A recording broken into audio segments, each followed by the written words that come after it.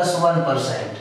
समझिएगा, एक और एक दो और आठ दस छह, सोलह परसेंट। टोटल जेड में कितनी परसेंटेज एरर है, बोलिए?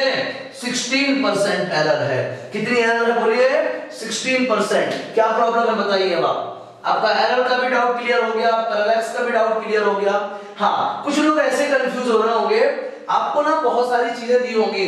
कि मीटर कैसे आया किलोग्राम कैसे आया सेकेंड कैसे आया वन कैलोरी कैसे आया वन एम्पियर कैसे आया? तो ये जो इनके एक्सपेरिमेंट्स हैं, बहुत ज़्यादा हाइपोथेटिकल एक्सपेरिमेंट्स हैं, और हाइपोथेटिकल के अलावा मतलब वो प्रैक्टिकल रिजल्ट्स हैं और प्रैक्टिकल रिजल्ट्स हैं, इसीलिए एनसीईआरटी कहता भी है कि रीड कर लो, आपकी नॉलेज में होनी चाहिए। बाकी इस बात का मतलब प्रेशर मत लेना कि इसको आपको एग्ज़ाम में भी लिखना होगा। है ना? ऐसा कुछ एनसीईआरटी में नीचे लिखा रहता है। तो घबराने की ज़रूरत नहीं है। वो आपके नॉलेज के लिए उनको आप रीड करिए और उसको एक्सपेरिमेंटल जाने की कोशिश मत कीजिए, है ना? वो ये बताया जा रहा है बहुत टाइम पहले हमारे जो लैब्स हैं मेजरिंग लैब और वगैरह जो एक्सपेरिमेंट है, वो जो लैब्स हैं, उन लोगों ने कैसे मीटर फाइंड किया, कैसे किलोग्राम फाइंड किया, कैसे सेकंड फाइंड किया, ठीक है ना? तो घबराने की ज़रूरत नहीं है, उनको बकायदा रीड करिए।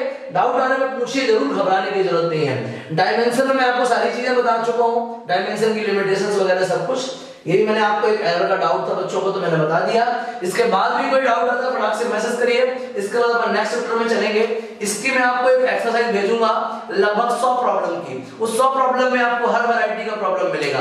पहली बात तो हर टॉपिक का मिलेगा, दूसरा हर वैरायटी का। उसको इत्मीनान से सॉल्व करिए, कुछ भी उसका छूट जाए, एक भी डाउट रह जाए, फटाक से मैसेज करिए। इसको, इस पूरे चैप्टर को बहुत अच्छे से तैयार कर लीजिए आप। सारे फॉर्मूले एक कॉपी बनाएँगे आप और कॉपी का नाम रखेंगे फॉर्मूला बुक।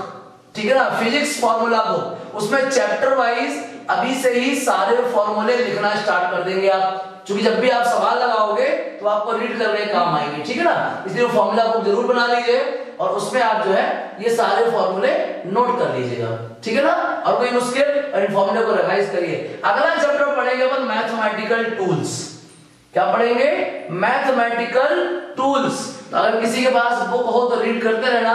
बहुत जल्द हमारा नया चैप्टर स्टार्ट होगा मैथमेटिकल टूल्स ठीक है ना? छाप लीजिए इसको, छापना हो तो। देखिए आगे।